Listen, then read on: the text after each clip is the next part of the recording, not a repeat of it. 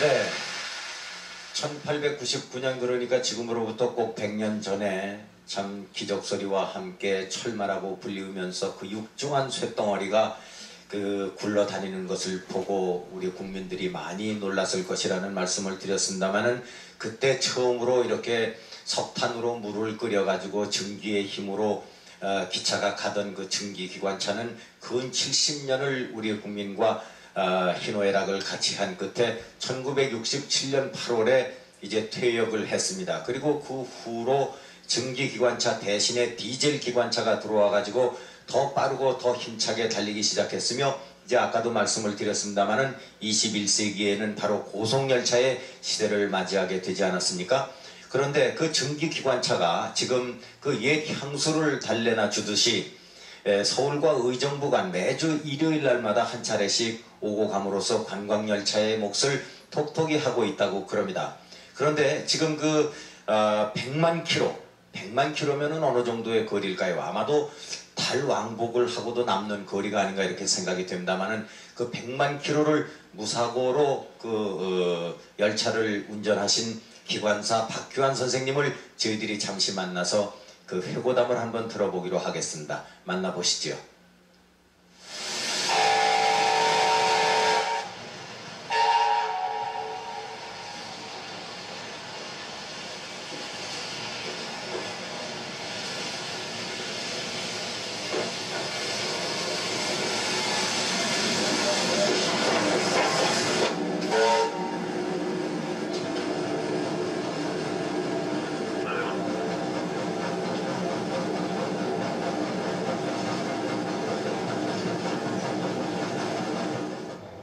예, 기차 연기 휘날리면서 예, 꿈과 낭만을 싣고서 고향 가는 열차에 그 여객들을 이렇게 날리는 데 기쁨을 가지고 있습니다. 항상 집을 떠나면 타향이요 가는 곳마다 고향을 찾는 이런 기분 하에 열심히 일하고 있는 중이죠. 근데 보람은 그 많은 여객들, 많게는 한 1000명, 가족 단위 뭐 이렇게 철도 여행을 하는 분들한테 목적지까지 안전하게 수송하는 그런 지금 어, 정시에 이렇게 안전하게 수송하는 그런 때 목적지에 도달했을 때는 아주 안도의 한숨을 쉬면서도 상당히 보람을 가슴 뾰족하게 느끼고 있습니다. 제일 기억에 남는 승객분이라고 하는 건 이제 천안역에서 어느 때인지는 잘 기억이 나질 않는데 그 할머니 할아버지 또 손주까지 이렇게 데리고 계시면서 음, 데리고 있다가 이렇게 보따리를 이고서 막 뛰어오는 열차가 발차는 직전에 뛰어오는 걸 보고서 기관사 자의대로 제 자의대로 잠깐 쉬었다 태워 드리고 간 그런 기억이 상당히 좀 기억에 남습니다. 그 옛날에는 이제 뭐 여기 전기기관차에 그 어, 폭폭거리 석탄 연기 날리면서 고향을 그리는 그, 그 시골 가는 부모님들, 가족들, 또뭐 섬바다에 사시는 이런 분들을 고향에 찾아가는데 이렇게 상당히 힘을 우리가 쏟고 있었죠. 그, 그- 그때는 이제 갈 때는 아, 뭐한 3, 4일 그런 때도 있고 이 집을 일다시피 하면서 이렇게 에, 운전에 종사하고 있었습니다. 뭐 부모님을 전송하는 기분이라든지 또 어, 자기 아들을 군대에 보낼 때 그 전송할 때 눈시울을 접실 때 손수건을 가지고 눈물을 흘리는 그런 광경마다 그런 음, 광경을 많이 볼 수가 있었습니다. 그러나 어, 요즘에는 이제 그게 조금 달라져서 굉장히 뭐 스피드 시대라 해가지고 그런 게 가끔가다 보일 때가 있었습니다.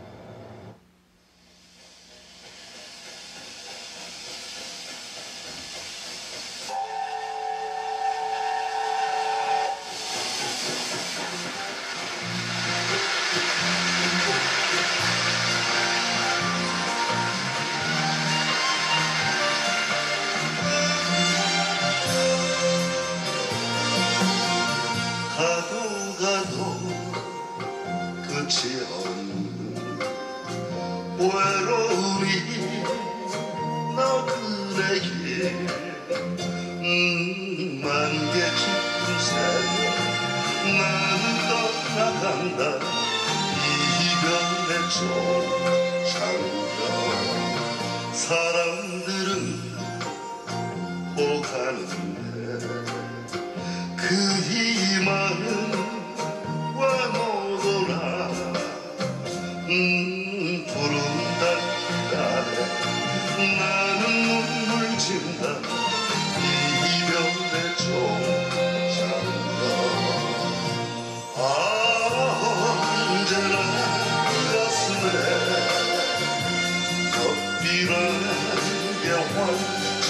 good.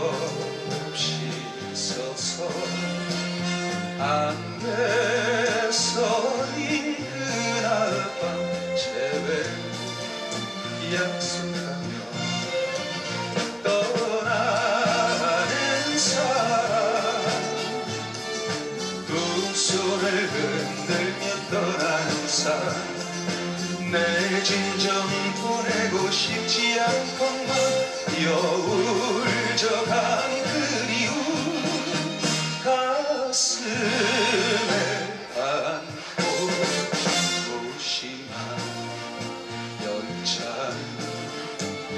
연기만 가물가물 아